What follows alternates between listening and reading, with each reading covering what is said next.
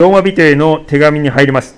えー使徒の働きを、えー終えてですね、ローマ人への手紙に入りまして、えーそして午前中に一章の16節からお話をしました。ぜひですね、聞いてない方は、えー聞いてくださいですね。後で、え YouTube でアップしますので、えー今日中にアップされますから、ぜひ聞いてください。えそれから、え今日は、えこの前段階というか、この、あの、えーローマ人への手紙の、えーというよりもね、この新約聖書における手紙っていうかな、まあ、その話をまずさせていただいて、で、ローマ人への手紙の話をして、背景を話して、なのでね、え2つに分けて、前半1節から17節までをね、えー見ていきたいと思います。で、その最後に、えーイエス様の生産にね、えーと、肉と血に預かりますので、えーよろしくお願いします。えー手紙に入りますね。この、皆さんね、この手にしてくださいよ。今までね、この福音書、マタイから、えーこのあったんですけれども、今度ね、こう手紙です。ずっと手紙が、えーこの続いていきますが、えーまずね、この新約聖書の初めのページですね。えーこの新約聖書の初めのページの次のページを開いてみてくださいね。次のページね、目次があります。で、その目次を見ますと、えこの使徒の働きの人のところに、ローマ人への手紙っていうのがあって、まあ、実に、ユダの手紙までですね、ユダの手紙まで、えー手紙がずっと続いてい、えーくわけなんですね。で、このローマからピレモンまでが、えーパウロによって書かれたもので、かなりパウロのね、書いた手紙が、えーえウェイトが高いですね。重点が高いですね。そして、ヘブル人への手紙からユダの手紙までがあって、これ行動書簡とも言われますけれども、でですね、最後の最後に黙示録、こう予言書ですね。予言の言葉、黙示録があるわけです。なので、何かこう手紙っていうと、なんかあの、同じことが繰り返されていくんじゃないかなとかって思うかもしれませんが、えー前回お伝えしたように、全然そんなことはないんですね。手紙はね、あの、教会に対して、人たちが直接教えていた内容です。人たちは意図的にこれを行ってます。まずね、イエス様ご自身、私たちの信仰の対象であるイエス様ご自身の生涯を、なんと4人の著者を通して、この集めている。これが4つの福音書がありました。マタイ、マルコ、ルカ、ヨハネですね。そしてその人たちの働きが、精霊による働きが、それを記録しているのがあったんですけれども、そこにおける一人一人の信仰のあり方、教会のあり方を指導するために、直接その人たちが、えー教会の人たちに書いているわけであって、直接私たちに関わりのある言葉が連続して出てくるわけなんですよね。教会に対して語られてるわけですから。ですね、指導してる。指示を与えてるわけですから。で、えパウロによるものが圧倒的に多いということをさっき話しました。13の手紙があります。で、えなぜこんなにパウロの手紙が多いかと言ったら、パウロはユダヤ人ではない違法人への使徒として召されて、いたからですね。教会は初めはユダヤ人の中で始まったわけですね。あのエルサレムからユダヤ人のみだったけれども、途中からですね、このコルネリウスに関わり、神が、えーこの公に関わり始めてですね、そしてアンティオキアの教会に行ったら、え今度は違法人の方が多く救われていくという、えこのような違法人がえこう主体となっていくように流れになっていってるわけです。だから違法人に対してのえこの思いを多くえ神は伝えなければいけない、えーということをね、鑑みて、それでこのパウロの手紙が、えーじえーと13もあるわけなんです。えーこのローマからピレモンに至るまでですね。そしてね、その、そのパウロの手紙の中でも、えーややこしいんですがね、二つに分かれるわけですよ。二つに分かれるっていうかな。あの、厳密に言うと、えー教会に対してっていうのはローマからテサロニケまでなんですね。で、テモテの手紙の二つの手紙あるでしょで、テトスへの手紙、ピレモンの手紙。これね、テモテ、テトス、ピレモンっていうのは、それぞれ牧師、牧者であるか長老なんですよ。ですね。牧会書簡とも言われます。なんだけども、この、えっと、教会に対して書かれているのは、このローマからテサロニケなんですね。でね、この、い、9つっていうか、この、このね、ここにあるローマからテサロニケの順番も、えとてもよく整えられているんですね。えー、はじめのローマの手紙と第一、第二コリント、コリントに対する手紙とガラテアは、救いについて焦点を当てています。神の救いについて、えー、多くを語っています。で、次に、エペソ、ピリピ、コロサイは、教会について話しています。教会について話していて、教会とは何ぞやですね。えー、で、教会が教会でなくなる逸脱っていうのは何なのか。なんですけれども、そういうことを話してます。そして最後のテサロニケの手紙2つが、このキリストの再臨について話してるんですね。なので、神の救いをまず話し、それから、教会を話し、そして、再臨を話します。で、全部のね、テーマってね、全部入ってるんですよ、実は。これ一つ一つの手紙に入ってるんですが、どこの側面を強調しているかっていうことなんですけれども、なので、神のご計画の側面の、まあ、どの部分っていうのがこの密接につながりながら、こう、流れがこう、あるんですよね。ということで、あの、こう、なんていうか、無目的にね、えこの順番になっているわけではないということをね、まあ、知っていただきたいなと思うし、あとは退屈にならないようにっていうか、あの、一つ一つが非常にエキサイティングですね。すごいワクワクする内容になってます。そして、それが自分の信仰の立て上げになっていくし、教会の立て上げに、もう本当に essential。ね。えー、なんだっけ？不要不急じゃなくて必要なんですよ。ね。それ、必要不可欠。そうだ。必要不可欠なわけなんですね。で、えー、ローマメテの手紙そのものなんですけれども、えー、これ全部読まれた方はお分かりになると思いますが、パウロが神の福音について、信仰による義について、綿密に説明しています。だから、あもうすでに私たち与えられている信仰を持った者には与えられているんですが、その福音福音の真理をじっくりと説明していくんですね。で、それがね、一つの話題から次の話題に、あの、なんちゅうかな、こう、なんか、厳密、こう、なんか進んでいくっていうよりも、一つの、もう与えられてる救いについて、ここの話をして、ここの話をしてって言って、あの、えー、掘り下げていくっていう感じですね。そんな感じで書かれてます。で、パウロがこの手紙を書いた、まあ、背景というか目的なんですが、まあ、いくつかあって、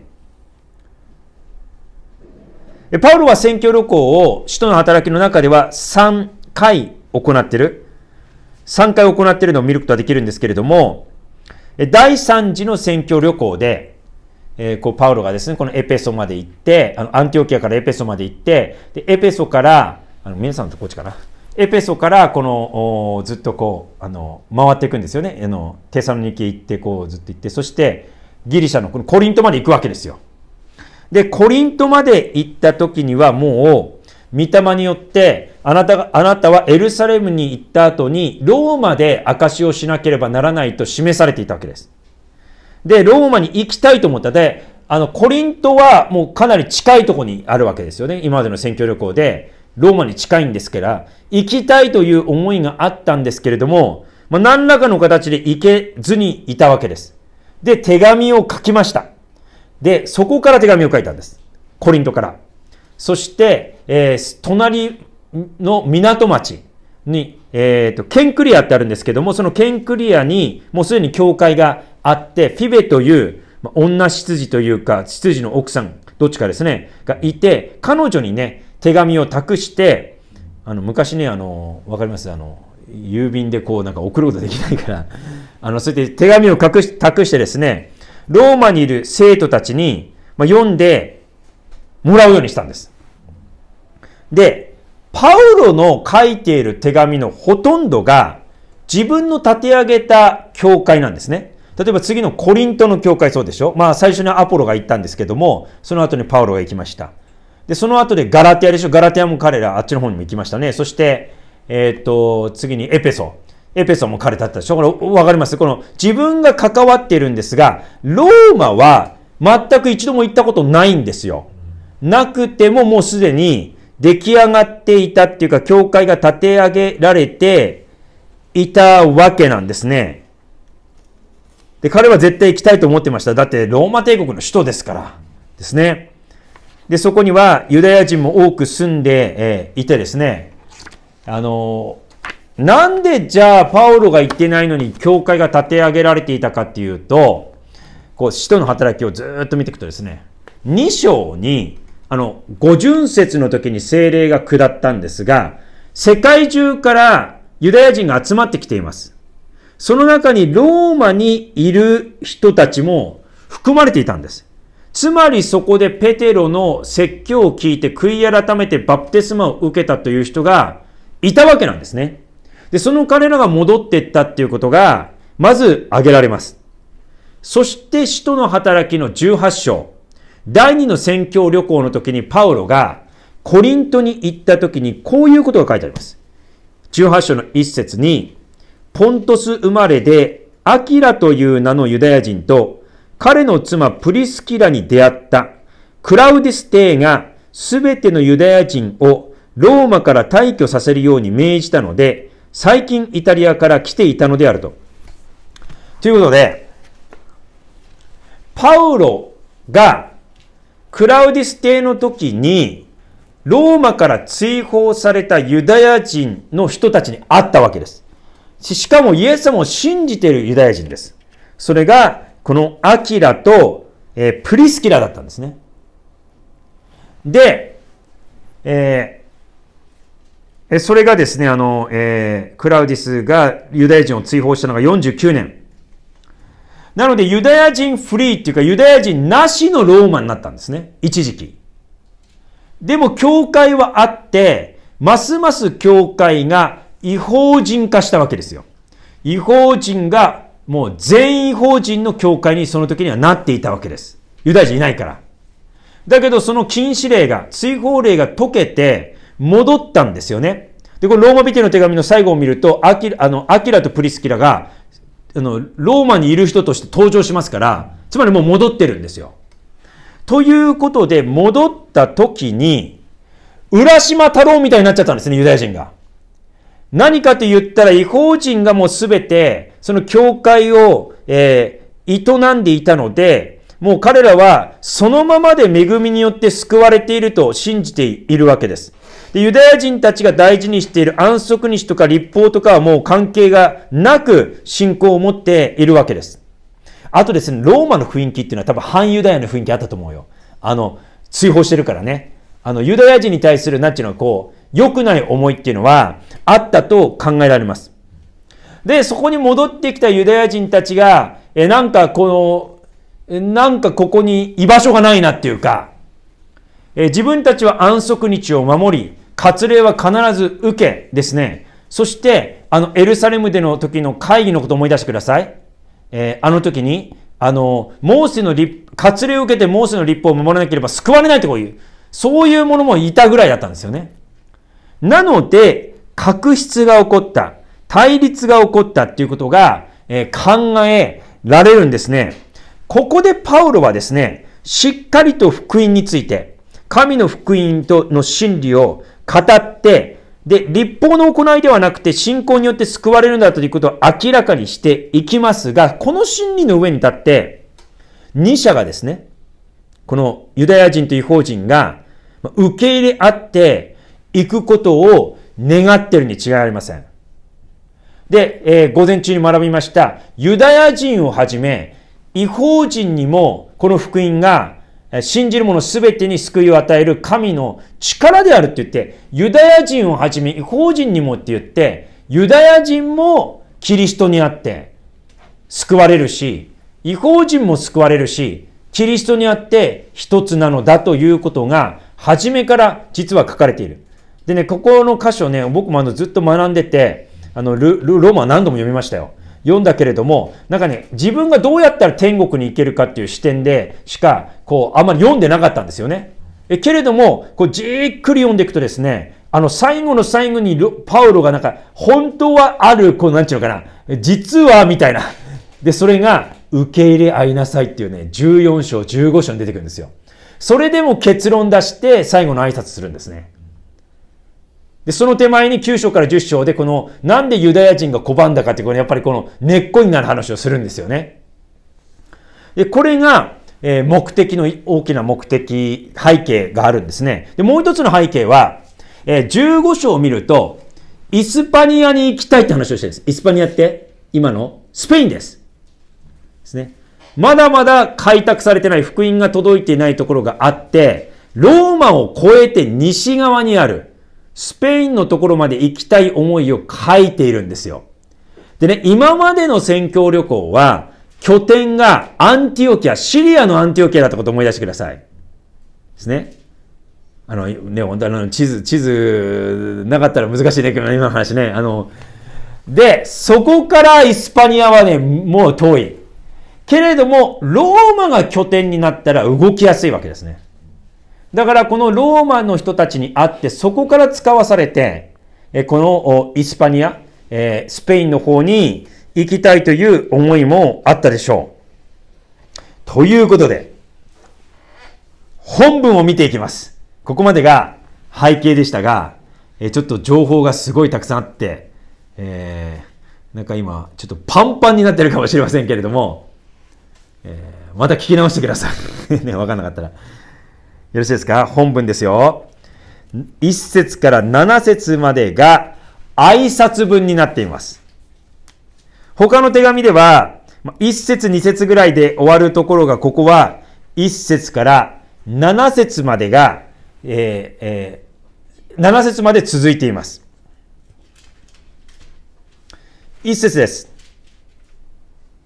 キリストイエスのしもべ、神の福音のために選び出され、使徒として召されたパウロから、手紙を書くときの送り手をですね、こう紹介している自分がパウロだっていうことを言ってるんですが、まず、キリストイエスのしもべと言ってます。しもべ。このしもべという役はですね、えー、実は良くないと思ってます。なぜかというと、ギリシャ語のデューロスっていうのが、えこのしもべなんですが、いわゆる奴隷です。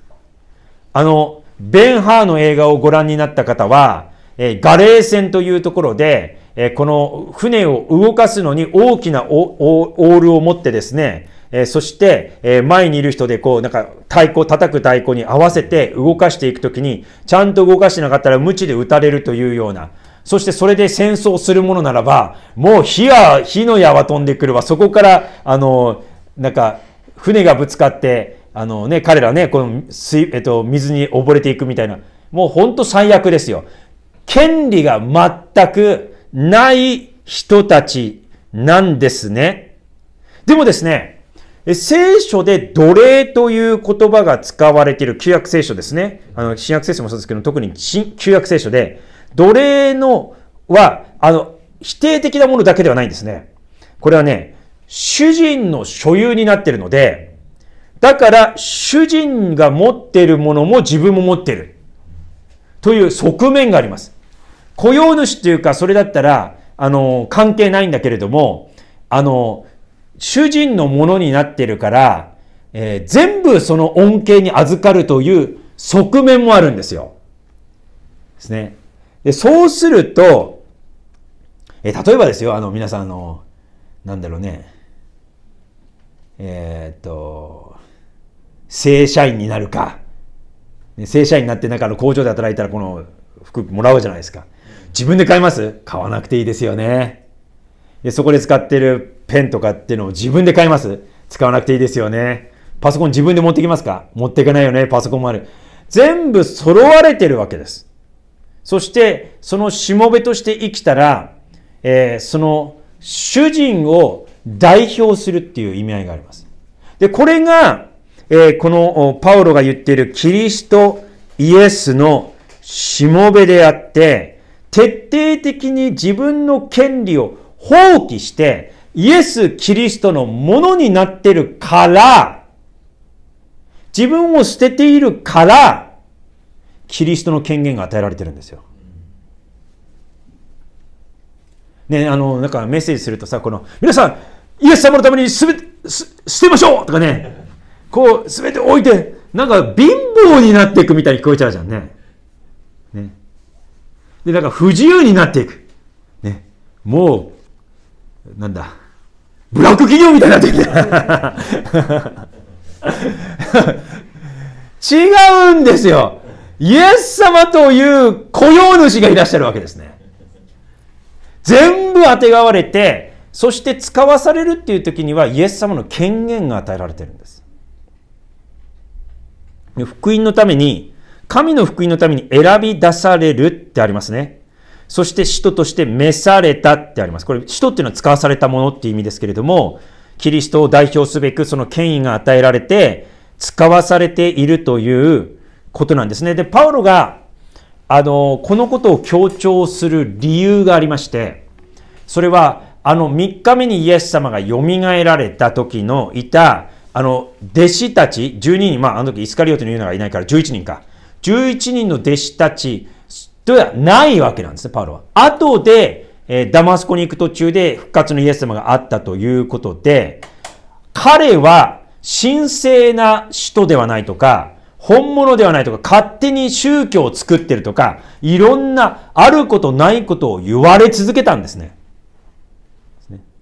今でもね、あの、巷のなんかあの、キリスト教の解説書を見てください。もう勝手なこと言ってますよね。今のキリスト教は本来のイエスのね、イエスの宗教ではなくて、パウロが勝手に作り出したパウロ教だとかね、だからね、もっともらしいこと言ってるんですよね。だから今でさえそういうことを言ってるってけど、当時はもう本当すごかったんですよ。そこでパウロは、えー、自分が使徒であるということを、え、はっきりと言わなければいけなかった。で、ここで、選ばれた、召されたっていう言葉ね、これとっても大事です。後で、え、私たち、このローマにいる信仰を持った人たちも選ばれて召されたんだって話が書いてあります。召されたって。で私たちもそうなんですけども、だから使徒というような大きな大きな働きに召されるっていうこともあるんですが、違法人たちも召される。つまり救われるっていうことなんですね。でね、救われるということも、教会に来るということも、教会の中で何らかの働きをするということも全部飯なんですよ。選びと飯によって行われるということなんですね。先にこうしなさいって言われるわけです。それで応答してるんです。で、皆さん、イエス様を信じる、信じた人たちね、信じた人たちは何か自分で選んだ、選んだは選んだんですよ。決断したんですが、決断したというよりも、降参したって言った方が分かりやすいんじゃないですか。降参した。あ、なんかうなずいてくださってね、嬉しいね。降参したって感じでしょ。もう分かりましたって感じじゃないですか。OK! あなたは主でありますって感じでしょ。まず呼ばれてるんですよ。私のとこに来なさいって。呼ばれてるんですよ。で、応答したんですね。応答するっていうことが、えー、本質なんですね。その自分で、あの、これはいい宗教だから、じゃあ選びましょうとか。でね、実は教会も同じなんです。教会もですね、あ、ここではね、あの、こういうなんか賛美がすごく、あの、自分の好きな賛美やっててこれかっこいいから、だから私はここに来ましたとか、あと牧師先生の説教が、わざとね、今牧師先生って言ったけどさ、あの、牧師先生の説教が、これすごいから、僕やってきましたとか、あ、ここの神学はしっかりして正しいから、聖書的で、とか、だから何回も振る。全然全然違います。自分の好みとかで来たらじ、えっと、持ちませんよ。持ちません。救いがですね自分が一生懸命選んで掴んでいるんじゃなくて神が掴んでくださってるから自分が救われてるんじゃないですか。これが飯なんです。教会もですね自分が神様にここに来なさいって言われてるから来てるんですよ。でねそんなあんまり意識しないかもしれないけどやっぱそうなんですよ。そうとしか言えない。えなんでここにいるのっていやそれはいやえ？って皆さん思うんでね。聞いてみますよ。どうしているのここにって言って。え？ー、あんま考えたことない。でこれが飯なんです。これが飯なんです。これは神様に言われたからっていうことなんですよ。これしかないんです。で、一番降参しなきゃ、一番じゃないね。あの、皆さん一人一人降参しなきゃいけないんだけど、あの牧師は降参しなきゃいけない。牧師だけじゃないね。もう、どんな人もそうですけど。やらざるを得ないっていう。否定的に聞こえるけどね。あの、そういう飯がある。で、教会のもともとの意味は、集会なんです。エクレシアっていうのがギリシャ語なんですが、当時ギリシャにあった集まりですね。呼ばれていくんですよ。で、そこに集まる。だから呼ばれた人たちの集まりなんだということです。ということで、次にパウロが神の福音のためにと言ったものなので、その福音を、えー、細かく説明します。この福音は神がご自分の預言者たちを通して聖書にあらかじめ約束されたもので、巫女に関するものです。巫女は肉によればダビデの子孫から生まれ、聖なる霊によれば死者の中からの、えー、復活により力ある神の子として公に示された方、私たちの主、イエス・キリストですということで、えー、巫女に関する、イエス様に関することなんだということなんですね。で、これが、えー、えー、と、まず、ご自分の預言者たちを通して聖書にあらかじめ訳されて、これもずっと使徒の働きでやったじゃないですか。パウロは、先祖たちが待ち望んでいたイスラエルの望みのために私は捉えられてるんだって。これ、旧約において、まあ私たちが見ると旧約ですよね。旧約において予言されていて、約束されていた方なんだということですね。えー、あの、マタイに福音書、最初ね、新約聖書。あの、最初にほら、聖書を読もうとすると、なんか、えー、ってこうなるんだよね。だから読む気一気に失せる。最初、系図が出てくるんじゃない？ね。で、日本語の訳はね、あ、これまずいんじゃないかなっていうふうな訳してをしてます。アブラハムの子孫、ダビデの子孫、イエス・キリストの系図ってなってるんですけども、それは順番が間違ってます。ダビデの子、アブラハムの子孫、イエス・キリストの系図になってるんです。だから、イエス様がダビデの子よと呼ばれてるんです。ダビデの子っていうのは、ダビデに約束された、ダビデから出てくる、神の国の王ですよ。キリストです。そういう意味なんです。で、そこで人間によればダビデの子孫から生まれたとここに書いてあるんですね。肉っていうのは人間ですね。肉によればダビデの子孫から生まれたと。で、これ人として来られた方であると同時に、この方は神としても来られてるっていうことが4節なんですよ。聖なる霊によれば、巫女であることが復活によって公に示されたということなんですね。この方が単なる人間ではない。あるいは神がかった人間でもない。神ご自身が人となって来られた方で、え、神なんだということ、神の子っていうのは神ってことですね。神なんだということが、え、この、まずね、処女降誕、マリアの処女降誕のことでも現れてるんですね。えっ、ー、と、ルカの一種の35節に、精霊があなたの上に臨み、意図高き方の力があなたを覆います。それゆえ生まれる子は聖なるもの、神の子と言われますと。だマリアとヨセフの間ではなくて、精霊が、精霊によってマリアが身ごもって、神の御子であられるというね、こと。だけどね、この時に公に現れなかったの。わかります？えっと、それを知ったのは、ごく一部の人でしょう。あの、夜の晩に、あの、羊飼いがそのことを示されていったとか、あとは東方の博士ね、から来たとか、わずかな人たちだけがその神の栄光を見ることができたけれども、もうお忍びっていうか、なんちゅうかこう、本当に少ない人たちだけしかなかった。けれどもですね、復活は違いますよ。死者からの蘇りですよ。死者からの蘇りです。この方が神の子であって肉体を取られた神ご自身であることが明らかにされた。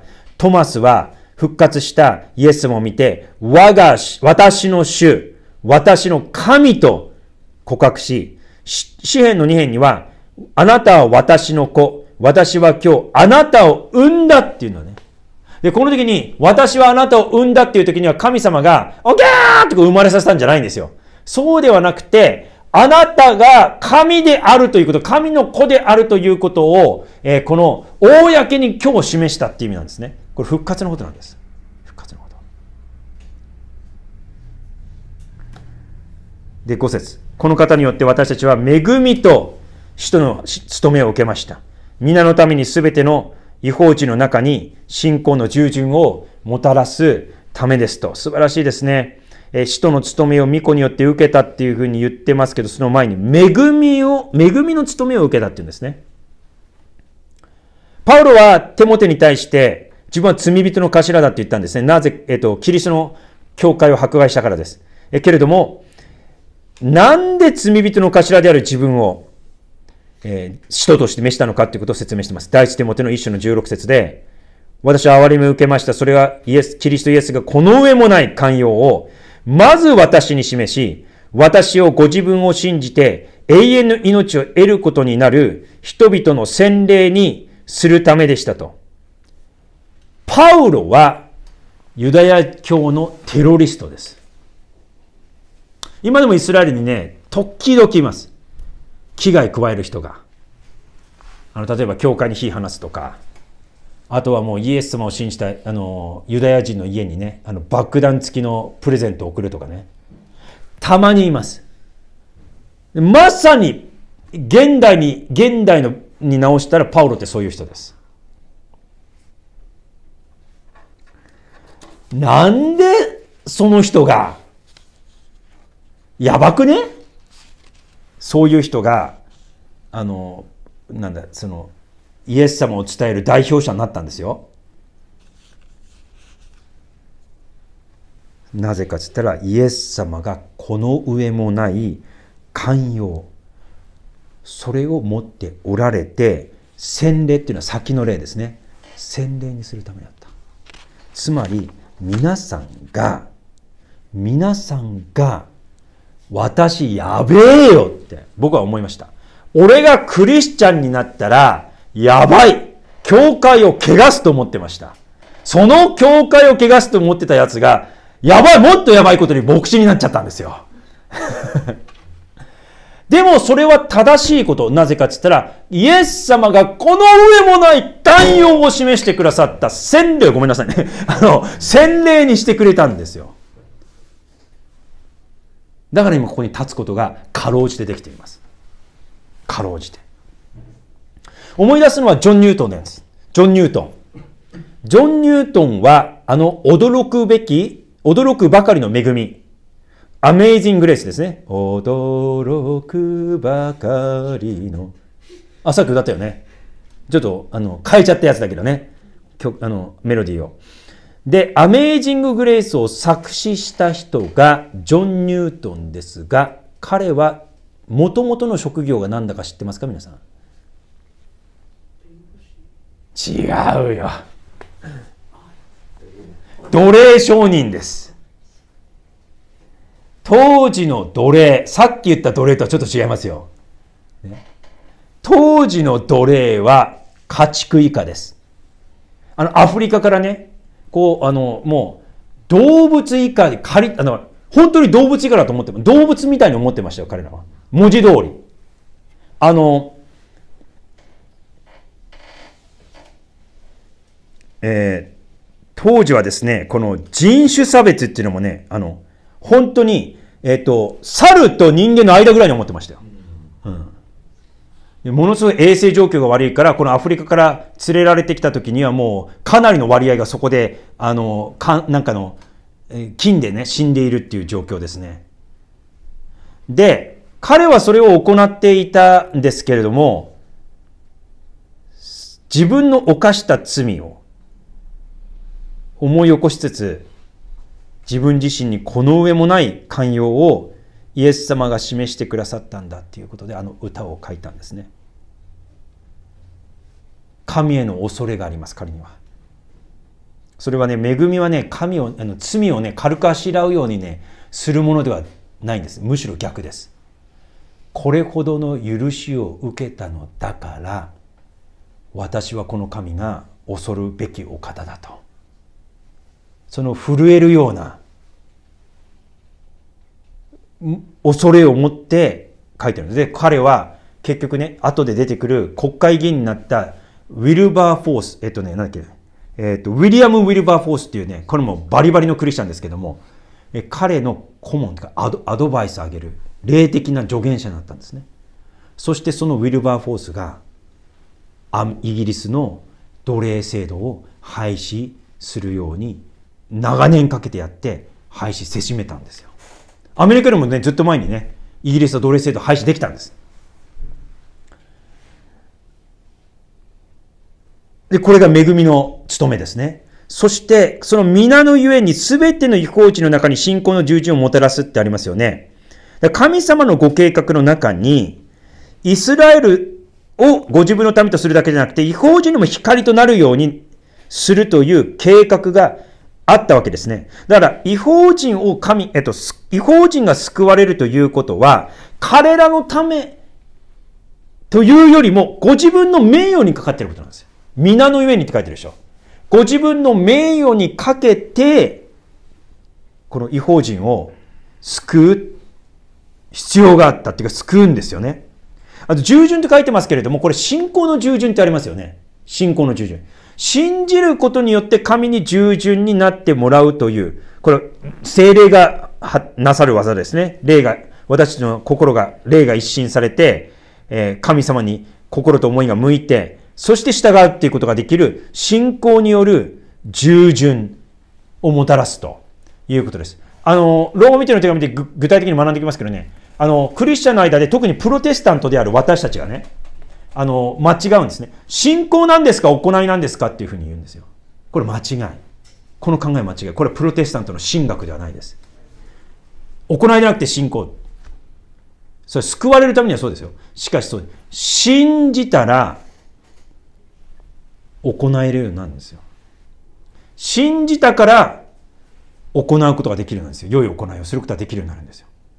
だから信じるということのの中にパッケージで良い行いっていうのはそれが神様が御霊によって私たちを変えてくださるからそれをすることができるようになるわけですね。で、えー、先ほどの話を戻りますと皆のゆえにこの信仰の従順をもたらすっていうことなんですが皆だから皆さんが救われたのは皆さんのことを思ってっていうのは当然です。なんですが、それ以上に神の栄誉にかけて救ったんです。これ、ね、よく考えてください。なぜかって言ったら、なんか私なんか救われちゃってね、クリスチャンになったらね、どうなのかなってかって皆さん不満あの不安に思ったらね、神様はね、こう言いますよ。お前何言ってるんだって。私がどれだけ心が広いか。というのを自慢したいからお前を選んだんだよってこう言うんですよ。神様の心の広さ、寛容さ、恵みを人々に知らせたいから皆さんを選んだんです。ご自分のために選んでるんですよ。救ってるんですよ。そして6節です。その違法人たちの中にあって、あなた方も召されて、キリストイエスのものとなりました。ローマによるすべての神に愛され、召された生徒たちへ、私たちの神なる、父なる神と、主イエス・キリストから恵みと平安があなた方にありますようにって言ってますね。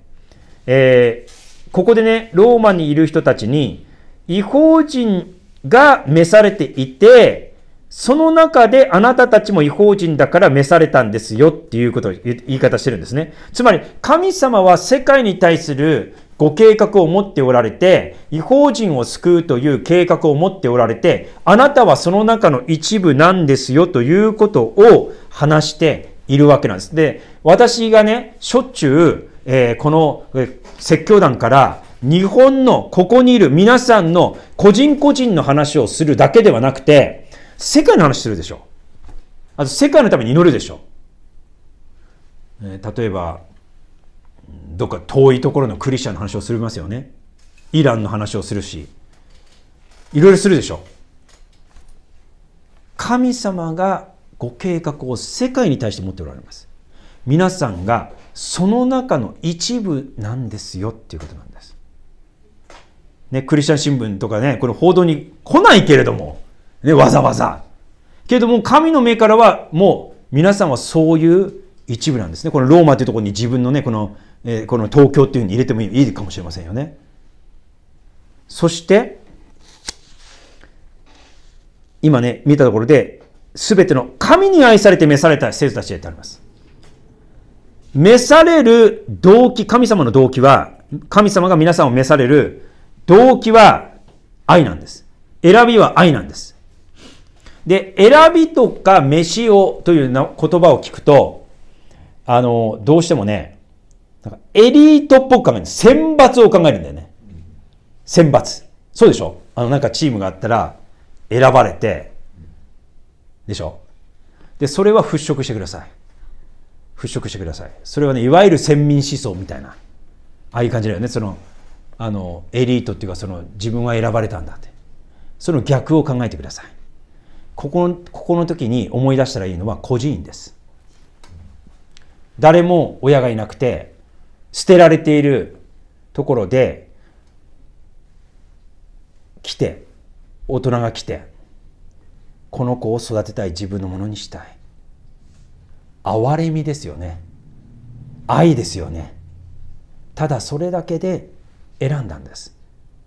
なのでこの選びとか飯っていう言葉を聞いた時は愛を感じてください神様に選ばれた召されたんですよそして主イエスキリストから恵みと平安がありますようにとありますこれね、挨拶なんですよ。この手紙の中に全部あります。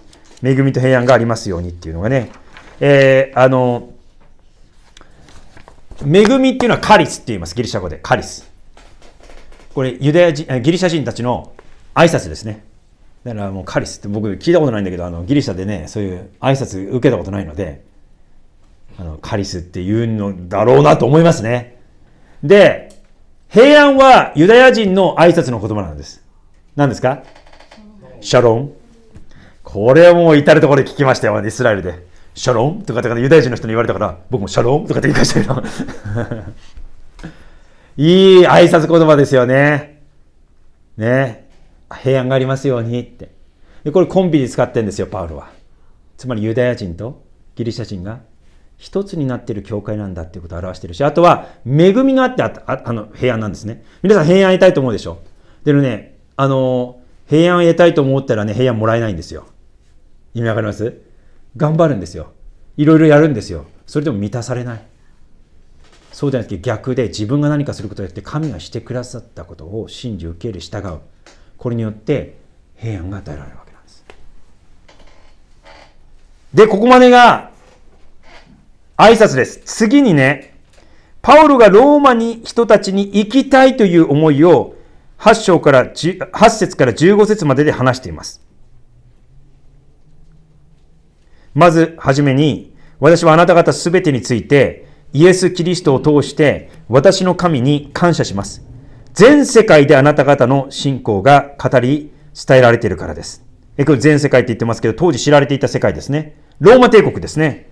また周辺地域ですけれども、さっき言った通りですね。あなたの信じてる信仰って自分だけじゃないんだよと。世界中で信じられてる信仰なんだよっていうことです。そして感謝してるって言ってますね。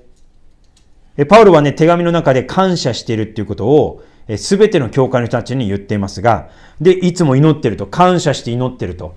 でパウロはね、本当にね、えー、偉いなと思うね。偉いっていうか教えてるんですね、私たちにね。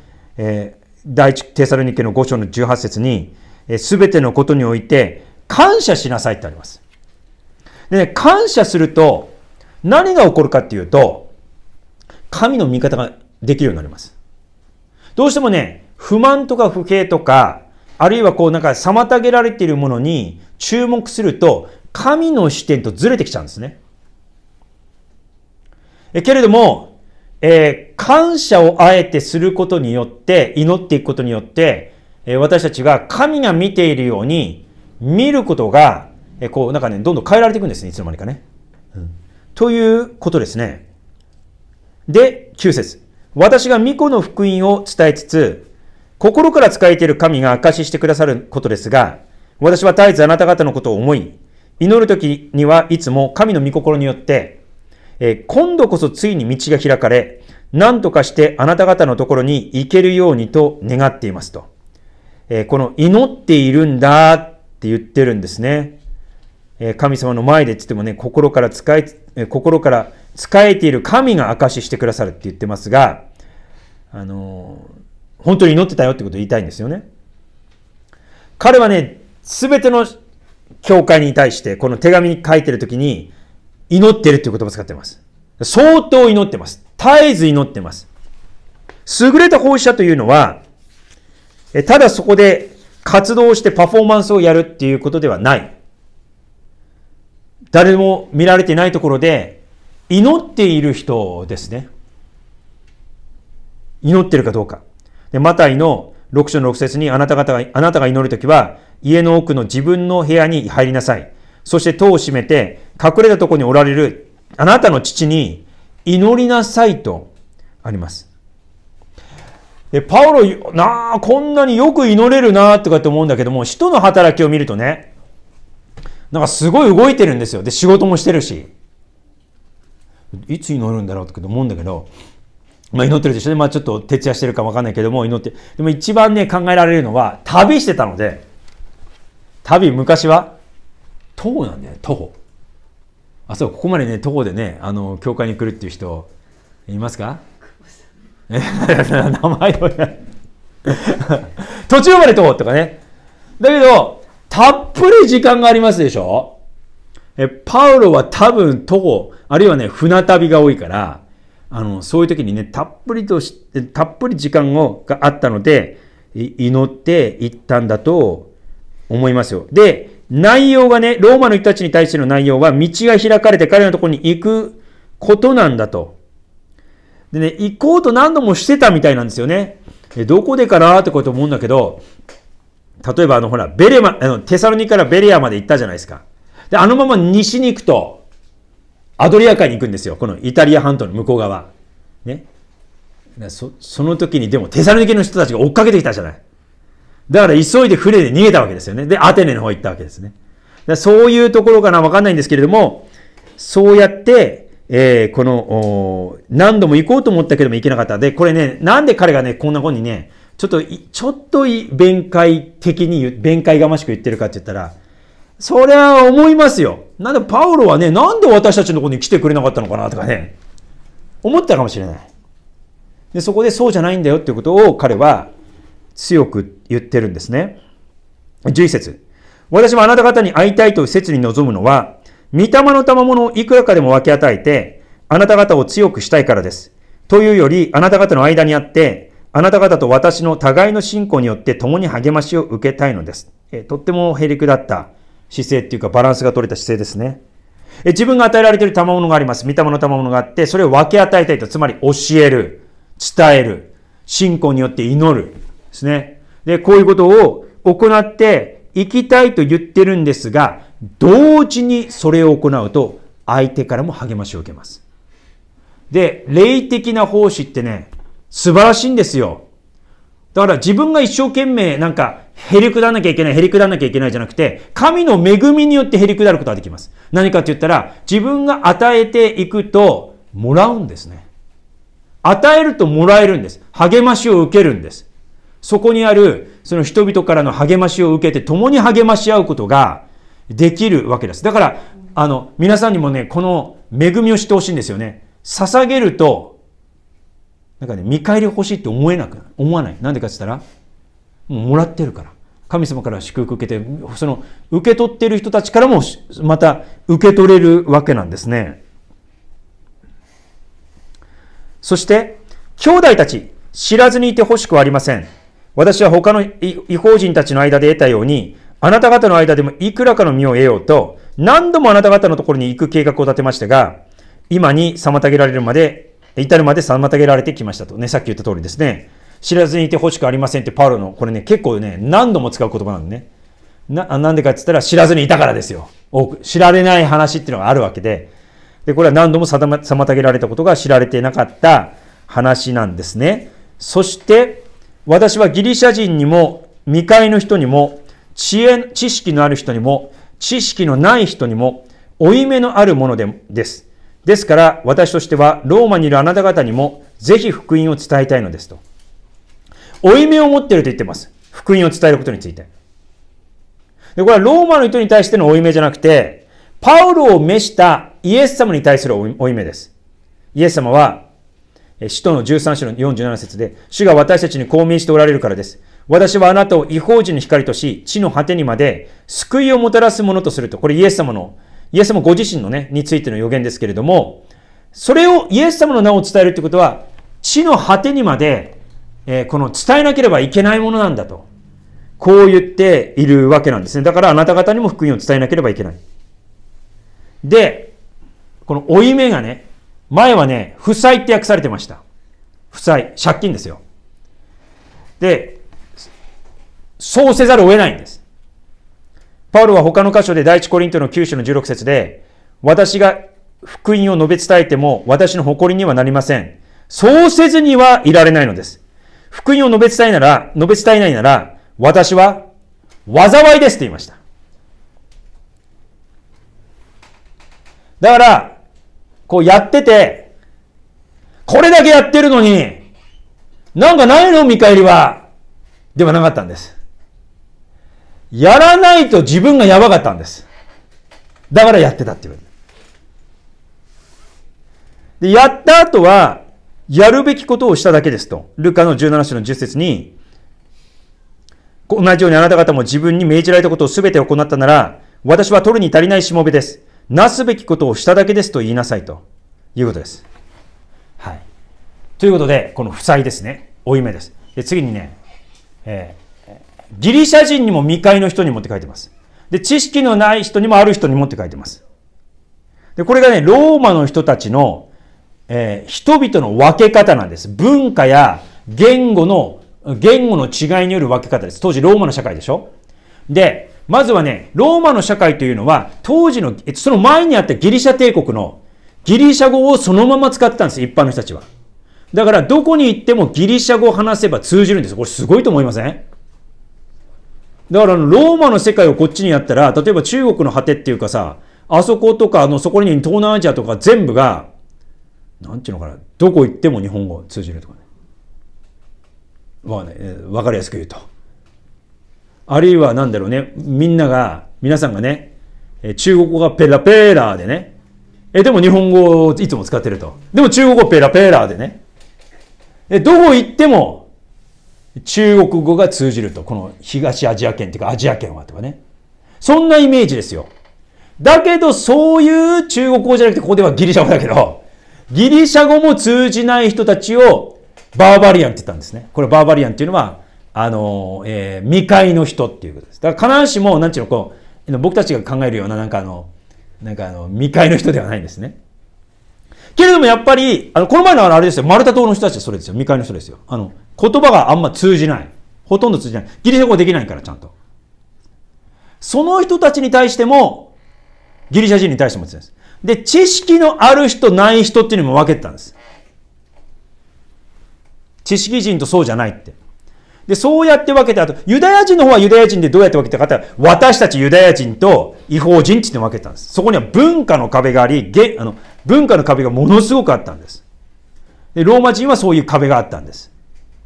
どっちもなんだとこう言ってるんです。すべての人にです。まあ日本だったらなんだろうね、内と外の文化。ですね。自分と合わない文化の人とは、まあ、なるべく付き合わないっていうか、こう、距離取るみたいなね。あるいは学歴。学歴強いね。学歴。うん。そういう違い。すべての人に届けるべき福音を私たちは信じてるんです。進化論の創始者は何ていう人ですか？名前は？ダーウィンですね。ダーウィンは種の起源という著作を書きました。あの本の副題っていうのがね、これえぐいんですよ。生存競争において有利な人種の存続することによる種の起源。人種差別そのものです。だから、猿から人になりましたと。その人の中でも進化があって、まあ、黒人、黄色人種、ヨーロッパ人種みたいな感じですよ。だからヨーロッパ人種が文明化されていて進化してるんだけれども、えー、私たちみたいなイエローモンキーは、モンキーなんだよね。で、あの、黒人はもう、もう、なんかちょっと半分しか魂がないみたいな人間の。ぐらいに考えていたから、ああいう奴隷とかってできたわけですよ。差別ができたんです、簡単に。ダーウィンってもてはやされるじゃないですか。だけど、彼の本読んだら、あ、これが、あの時にこんなことができた、この根っこなんだなってよくわかります。で、そのダーウィンがね、もうダーウィンってちなみにね、牧師なんだよね、お父さんが。あの時はもうキリスト教の世界だから、ダーウィンが、あの、有名な、なんだっけ、あの、ほら、えっと、いろんな島行ったじゃないですか。ですね。えー、島行って、その、いわゆる未開人。あの、ここに言ってる未開人って本当に未開人ですよ。フエゴ島民っていうね、この南米の南ですね。にあったとこに行った時に、その生活を見て衝撃を受けて、おそらく最も程度の低い人種だって言ったんですね。世界の中で。最も程度の低い人種だと言ったんです。でも宣教師たちは、一緒にね、同じ船に乗ったりするからね。宣教師たちは、どんな人間も単純なイエス・キリストの福音を理解できないほど低能ということはないと信じていますって言ったんです。すごいんだよ。このフルゴの島民、イエス様信じた。でね、言葉もね、あの僕もあの、そういうとこで宣教師やってた人の言葉を聞いたことあるけれども、とかね、なんかね、僕たちがうがいするような音、それもね、音にしか聞こえないの。ね、僕たちが聞くと。だけど全部それ言語なんですよ。で、宣教師たちはずっとそれを聞いてて、それを言語化、あの、その、僕たち、自分たちのわかるように辞書まで作って言語化して、そしてイエス様を伝えてったんだよ。イエス様伝えてったら変わってですね、そしてもうダーウィンは普通の人と変わらないんですよ、そのクリス、で、そこに教会建てられてるんですからね。そしてその会ったら普通の人と変わらないんですよ。自分はもうなんかちょっと猿みたいな、なんかもう低能な、なんかもう人間じゃないってこうやって見てた人が、人間なんですよ。I was wrong って言いました。彼は書いてます。私は間違ってた。すべての人に対する福音なんですね。すべての人で。皆さん、この人救われないって思う人いるでしょ？その時はね、自分のこと考えてください。じゃあなんでお前救われたんだよって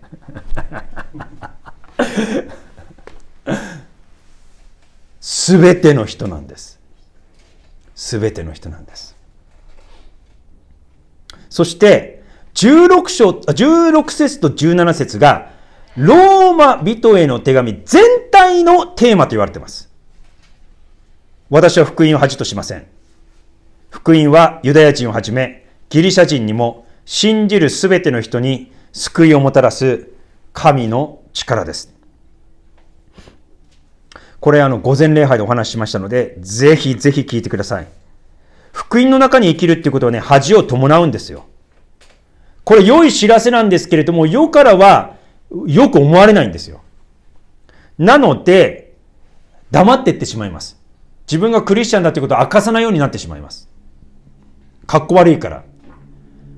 なんか僕がクリスチャンだったら罰が悪いから。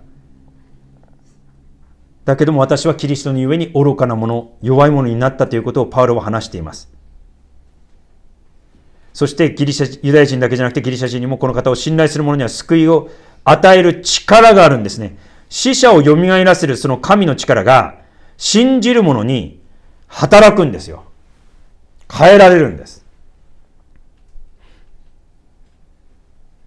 17節です。福音には神の義が掲示されていて、信仰に始まり、信仰に進ませるからです。義人は信仰によって生きると書いてある通りですという、神の義というキーワードが出てきました。ね、今ね、あの、こう、あの、いろいろなったりしてますけど、こっちも準備してるけども、ここ一番大事な、この16、17が一番大事ですからね。ちょっと今、目を覚まして聞いてください。いいですか？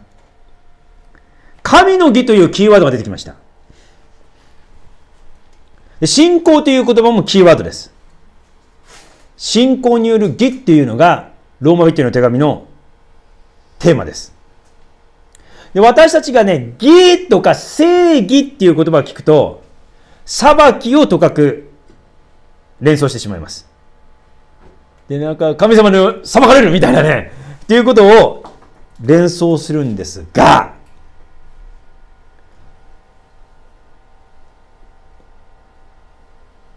福音には、これ福音っていうのは聖書で約束されてることでしょ？つまり、旧約聖書ですよ。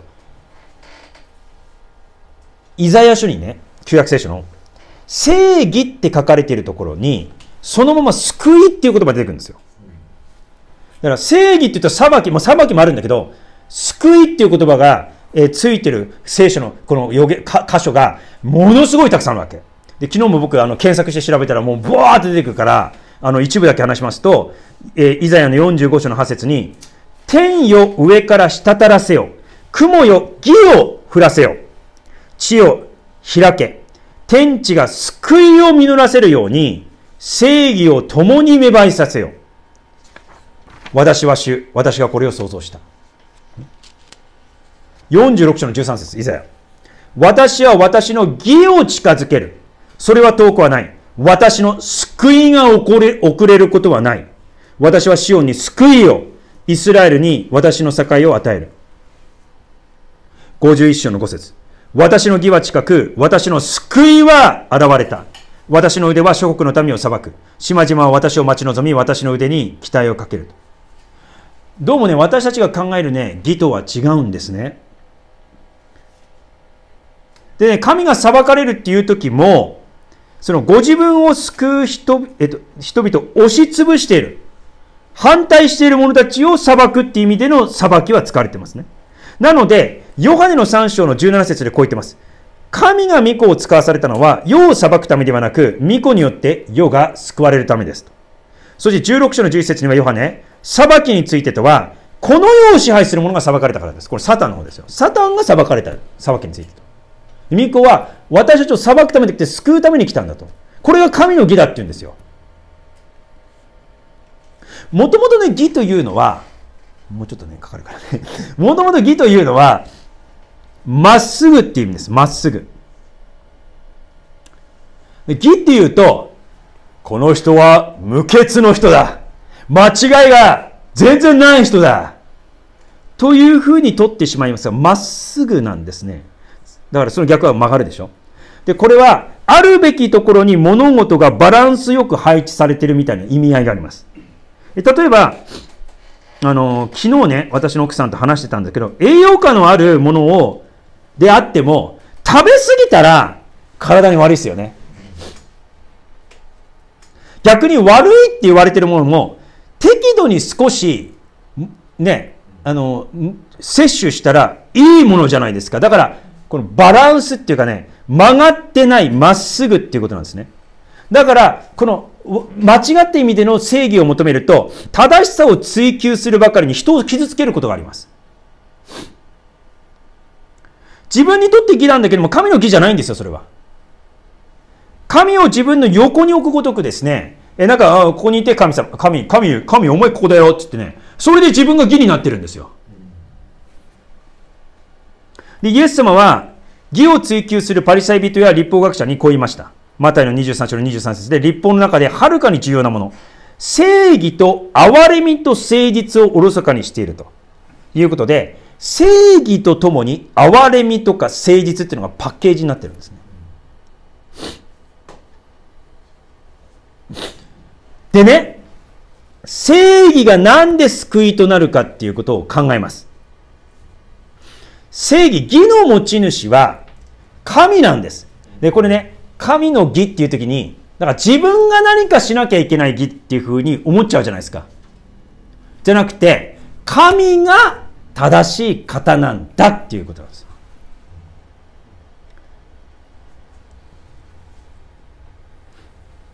私たちの義については問われないんです。むしろ私たちの義は、イザヤ書の64章の6節によりますと、汚れたもののようにやって義は不潔な衣のようだって言ってます。でね、えー、日本語ってね、この訳って柔らかく書いてる。まあ、英語もそうなんだけども、あるんだけどね、直訳、ごめんなさい、女性の方々。月、月のもの、生理の時の、あの汚れた布です。それが直訳です。で、これはレビ記を見ると、この、えっと、内側から出てくる血っていうのは、けが、汚れるっていうの書いてあるからね。そういう意味です。つまり、私たちが義と言ったら、神の前では、うなんですよ。ここで言ってる義というのは、神ご自身が義なんです。神のみが正しい方なんです。そしてもう一つあります。この義の意味は。神の義って。その神が、正しい神が、ご自分の正しさをプレゼントでくれるっていうことの賜物なんですよ。ローマの6章17節に、恵みと義の賜物を溢れるばかりに受けている人たちと書いてありまして、恵みによって神様の正しさ、義を私たちにプレゼントのようにして与えるわけであって、だから私たちはこのキリストを求めるんですよ。イエス様を求めるんですよ。そしてイエス様を信じていくんですよ。そうやって生きていく。これが正しい道なんですね。自分の義じゃないんですよ。